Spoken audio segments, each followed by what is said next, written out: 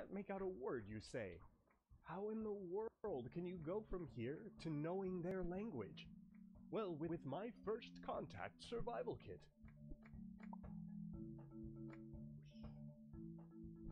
You know this scenario. You're on an island, or in a rainforest, or up in the mountains, staring at unfamiliar faces. They don't know your language, you don't know theirs. Where do you even start? It's a scene we have romanticized and reimagined from history to sci fi. The ultimate fish out of water tale. And now you're that fish. Well, I once claimed we're like insurance for your linguistic emergencies, and time to make good on that.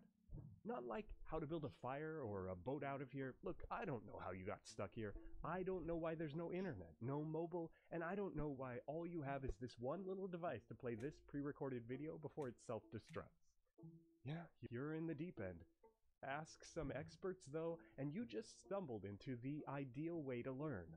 You're not outnumbered and alone. Instead, you're a participant observer about to elicit a lot of monolingual data.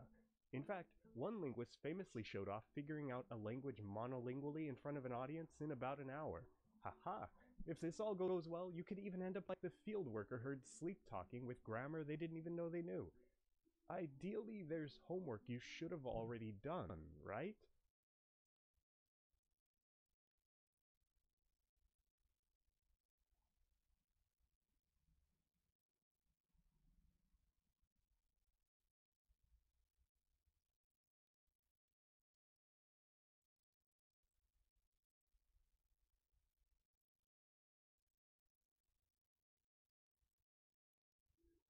I stupid non-asset man. I don't know why it's not working. Hold on. There she is. What are you gonna do? Detain me?